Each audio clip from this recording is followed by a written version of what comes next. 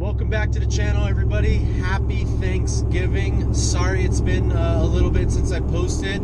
Uh, two things have happened. One, uh, I had a daughter, uh, another daughter, uh, and two is I got a new computer and uh, not really sure how to deal with the hard drives and get all the software and the videos and everything over.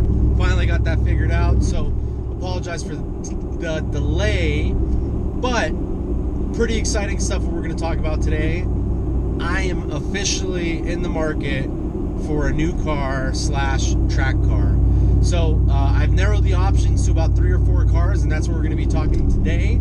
Uh, please stay tuned.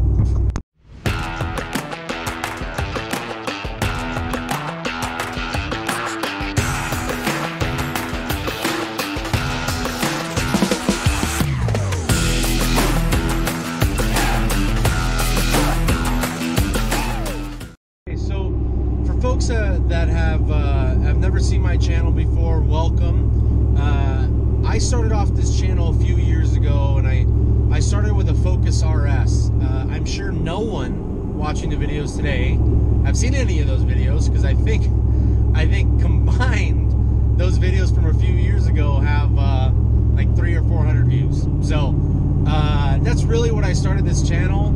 I was doing some track days in the Focus RS. Always been a car guy. This is my second truck, my first truck being Gen 2 Raptor. Um, so I've always been a car guy, and some of the reasons, as have you seen in other videos, on why I sold the Gen 2 for a Gen 1 was uh, to free up some budget so I can ultimately purchase another car. So I can have this truck for family vehicles, weekend vehicle, off-roading obviously, things like that, and then have another vehicle for um, for track use, you know, easier to drive downtown, stuff like that. So finally, the time has come that I have uh, some budget to look at other vehicles and the blessing for my wife. Now, she has not agreed on pretty much any car except for let's go through the cars first. The very first car uh, that is near and dear to my heart because I used to have one is a 2004 Subaru WRX STI. Uh, it was one of the first cars that I owned outside of like a 71 VW bus and things like that. It was my first like uh, performance stick shift car that I own. So it's near and dear to my heart. Why the 04? For a couple different reasons. One is it's the first year that came out in the United States. I think that's pretty cool. Two is it was the first year.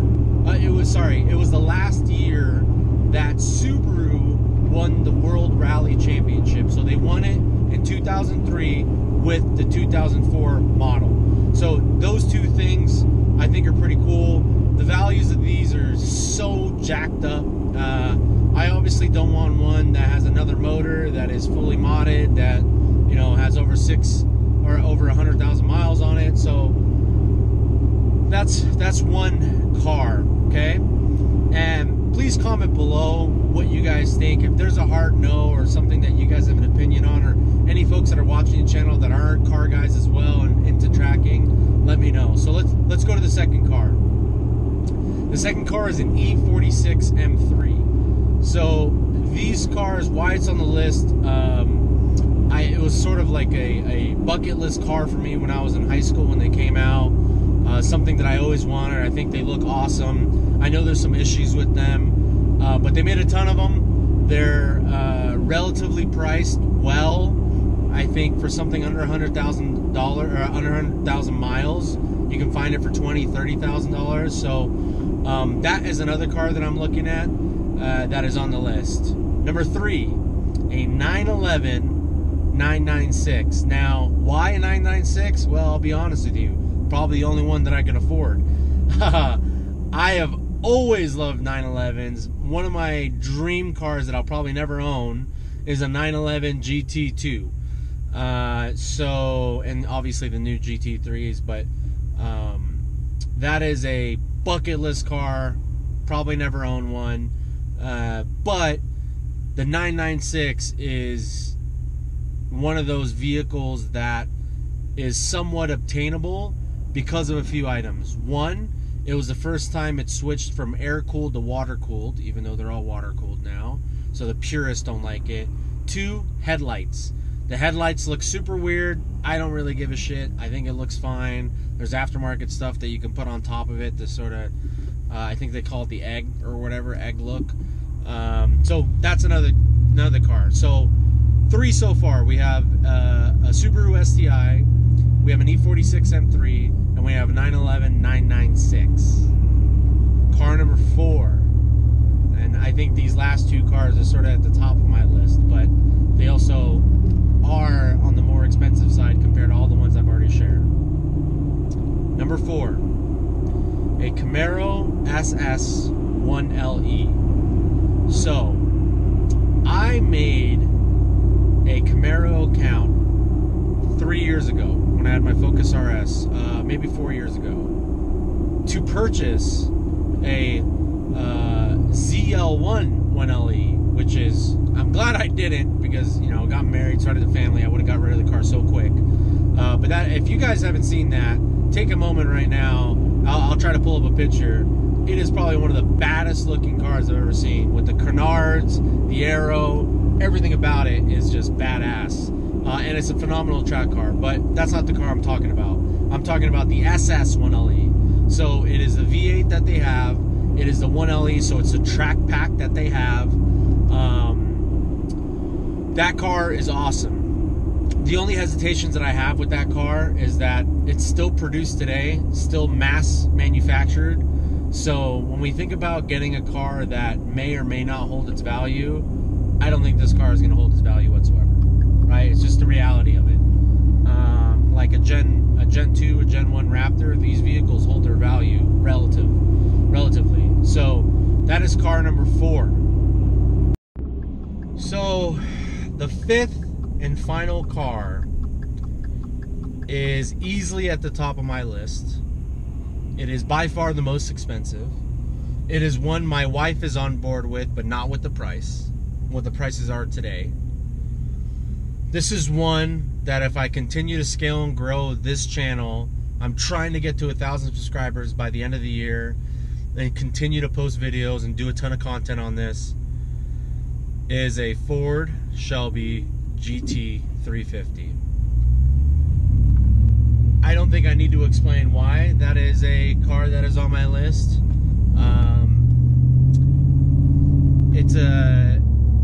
I've never owned a Mustang, but my brother's five years older than me, and I'll never forget the day I heard a V8 for the first time, at least in my memory. He bought a 1967 Mustang, had a 5.0 in it, and he brought it into the garage, and he turned it on. It was so loud I pissed myself, but I loved it. And I'll never forget that day. I remember where I was standing. I was remember what I was wearing. I remember the garage. I remember what it looked like. I was in elementary school or maybe early middle school. And at that point forward, I fell in love with cars and I fell in love with a V8. Um, you know, when we think about dream cars and, and, cars I'll never own, but maybe a kit car of it, uh, Shelby GT 350 1965, right? Ken Miles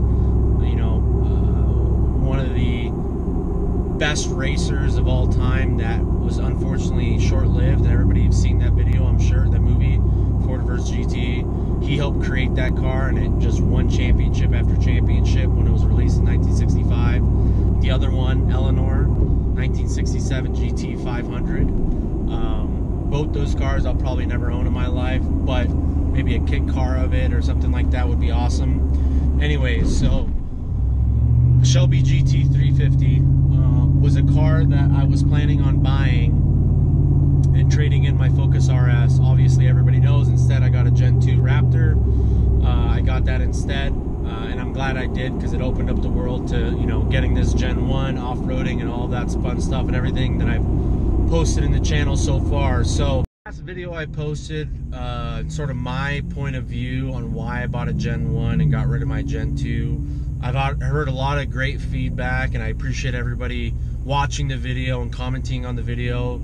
Um, I have a friend here, and she has a 2019 almost identical 802A uh, Oxford White Raptor, like the one I had. So, trying to figure out a weekend that works for her and me to uh, re- record a comparison. And obviously, there's a ton of comparison videos out there, but it would be more from my perspective. And would love to hear why she has Gen 2 and why she loves it so much and why she'd never own a, a Gen 1. So, keep a lookout for that.